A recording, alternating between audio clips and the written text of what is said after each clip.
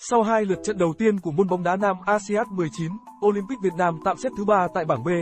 Huấn luyện viên Hoàng Anh Tuấn và học trò có 3 điểm sau khi thắng Olympic Mông Cổ 4-2 và thua Olympic Ả Rập Xê Út 0-4.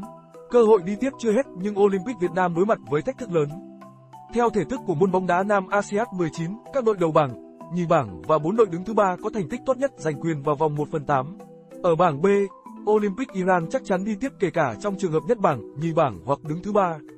Ở lượt trận cuối cùng, Olympic Việt Nam chạm trán Olympic Ả Rập Xê Út. Đối thủ này hòa Olympic Iran ở lượt trận đầu tiên. Các đội bóng Tây Á ở bảng B có trình độ không chênh lệch nhau đáng kể. Để chắc chắn giành quyền đi tiếp, Olympic Việt Nam phải có 3 điểm ở trận cuối. Nếu làm được điều đó, thầy trò ông Hoàng Anh Tuấn sẽ đứng đầu bảng. Trong trường hợp Olympic Iran không thắng Olympic Mông Cổ, hoặc nhì bảng, đẩy Olympic Ả Rập Xê Út xuống thứ ba.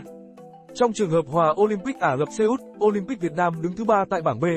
Khi so sánh thành tích với các đội bảng khác, thầy trò ông Hoàng Anh Tuấn bị trừ đi kết quả tháng 4-2 trước Olympic Mông Cổ, chắc chắn đứng cuối bảng trong mọi trường hợp.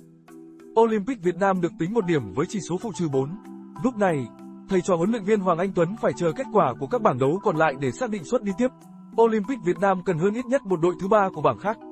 Cục diện của bảng D có 3 đội, chưa rõ ràng do mới có Olympic Nhật Bản và Olympic Qatar thi đấu một trận, Olympic Palestine chưa ra sân. Các bảng E, ép bất lợi cho Olympic Việt Nam với cục diện hiện tại. Các đội bóng có khả năng cạnh tranh vị trí thứ ba đều có chỉ số phụ tốt hơn Olympic Việt Nam.